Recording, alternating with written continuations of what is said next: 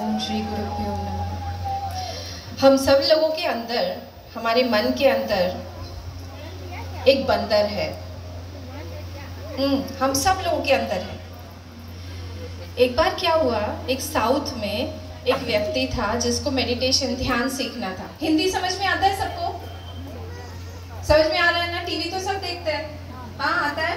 ठीक है। मैं ज़्यादा नहीं बोल करूँगी आपको साउथ में एक आदमी था जिसको ध्यान सीखना था कि मुझे ध्यान सीखना है। तो वो टिबेट गया। नेपाल के ऊपर टिबेट है? पता है ना? तो टिबेट में गया। वहाँ पे उसने एक मॉन्क को पकड़ा कि मुझे आप ध्यान सिखाइए, मुझे ध्यान सीखना है। उसने कहा कि ठीक है, मैं तुमको ध्यान सिखाऊँगा। जो जो मैं बोलूँगा उसको मानोगे? बोले हाँ बिल्कुल हम मानेंगे, आप जो भी बोलेंगे मानेंगे। कहा कि ठीक है, तुम ध्यान करने के लिए बैठो यहाँ पे।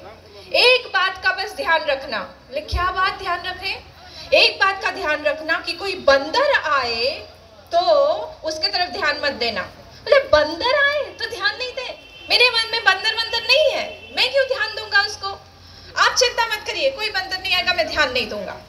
तो वो ध्यान करने बैठे और जैसे ही वो ध्यान करने वहाँ पे बैठे, एक बंदर टुप से आया। हम्म उसने कहा, ये बंदर कहाँ से आ गया? उन्होंने तो कहा था मुझे बंदर की तरफ़ ध्यान मत देना। तो उसने ध्यान नहीं दिया। जैसे ही उसने ध्यान नहीं दिया वहाँ पे दो बंदर और आ गए। ध्यान नहीं चल रहा है सब। ऐसा नहीं खुल, आँख खुली हुई है ध्यान कर रहा है। दो बंदर और आ गए। दोनों को उसने हटाया कि चलो चलो हटो हटो हटो हटो नहीं अभी मुझे ध्यान करना है। उतने में ही और भी तीन चार बंदर आ गए। और ये यहाँ पे ध्यान करने बैठा हुआ है और ध्यान में वो बंदर हटा रहा है। बार बार बार बार सारे बंदर हटा रहा है।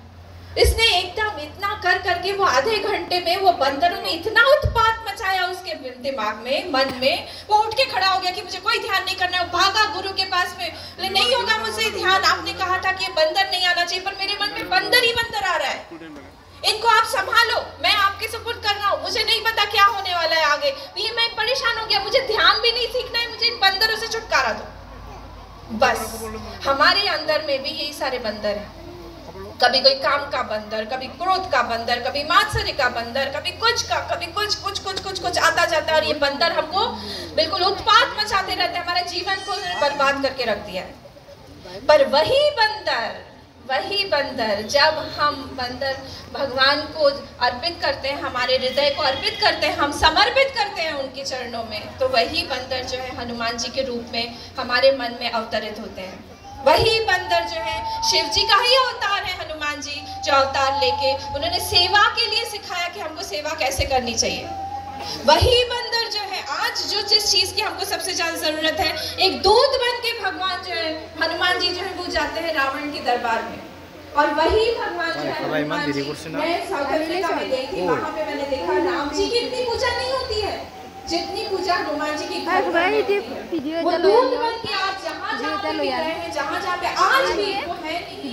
हमारे सामने साक्षात पर के चल हमारे नेपाली संदीप है